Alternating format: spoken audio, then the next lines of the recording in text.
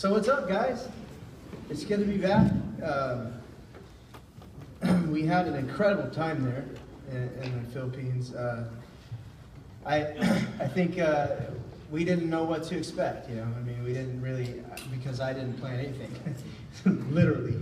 So it was kind of like one of those things. Even when I had to give my report to the missions department, they were like, "So did you do like devotions at night and stuff?" I'm like, "Devotions at night." So, uh, yeah, we went to bed, man.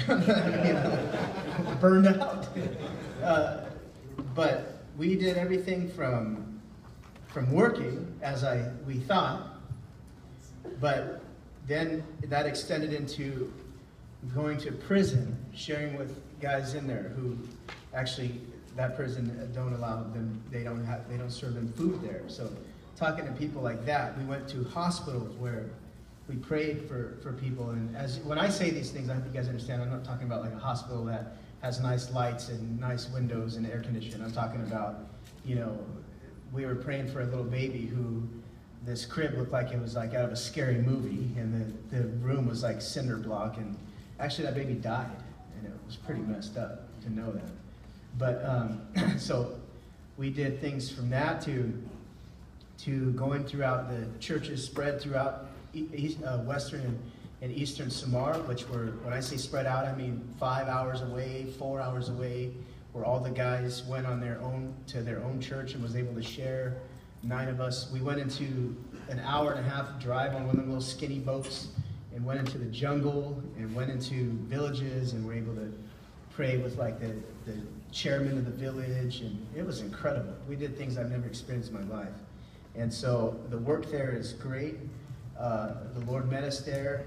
Uh, I think the people almost started to worship Dennis uh, because he was the one who had to take a boat over to an island to share. And uh, we said, after time, we're going to see like a totem pole erect on that island. And it's going to have like a beard. We're going to hear drums going and people dance around naked. And Dennis is going to be in the middle of it.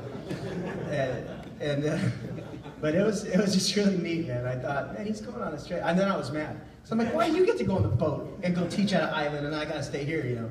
But it was it, Oscar jumped on a dirt bike and drove two hours to the church he had to share at. I mean, we because we had an all men team, they were able to just use us in that way, where you know that that you're just like, well, you guys are all men, you can't take care of yourself, you know just go and do whatever. Go deep into the jungle.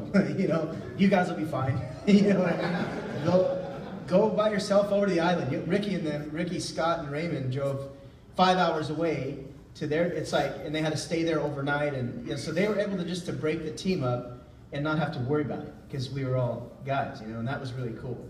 Um, but it was super hot, miserable as far as the weather's concerned, uh, my opinion at least.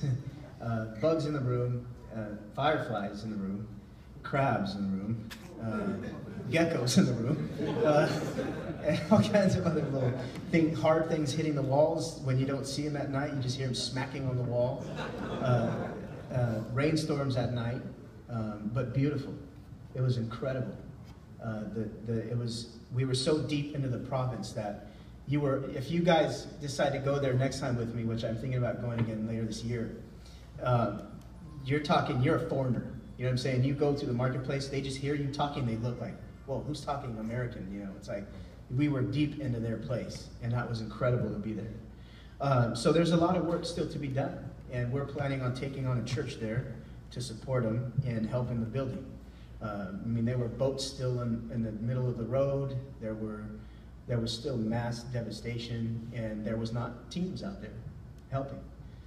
So as any devastation goes, you know, everybody goes at the beginning, and then as time goes on, it kind of dissipates. But uh, but it was incredible, and uh, and I and I'll invite you guys to whoever is interested in just wanting to see anything when we have our we're gonna have sort of a little potluck type thing. That way, and you I'm not talking about all here, but we'll have like a little potluck type thing and invite whoever's interested in just wanting to see kind of what went on and maybe thinking about going uh, with us on the next 17 hour flight. Uh, small little seats. Well, not for me. Would, you know, if you were taller like Dave, you got a problem. Uh, then from the 17-hour flight, we took a one and a half hour flight to another place, and then from there we took a seven-hour drive into the province. So the travel time is like you're delusional at the end of it. You don't even know. I mean, you forget your name. And then Oscar and I decided to sit on top of the jeepney where the boxes are for seven hours, which was which was really rough, man. I got hit by palm trees, mosquitoes, all kinds of stuff. So my wife's like, "You, why do you do that?" Then I got sucked out by a riptide, about 300 yards in the ocean. I was floating out there by myself. My brother thought I was gonna die. my wife's like, "What are you doing, man? Can't you just be normal?" I'm like, no way, man. So uh, anyway, that's a little bit of it, but we'll like to share with most of you guys if you're interested. We'll probably do it here in the Republic sometime, um, pretty soon here, have a dinner and everything. But other than that, um, I heard everything was cool here. Hector came and shared, uh, and uh, and then Glenn came and shared. I heard Glenn try to put a guilt trip on everybody, but if you guys used to be in the men's ministry three or four years ago, you'd know Glenn did that almost every Thursday. try to guilt trip into to serving or give money or some kind of thing.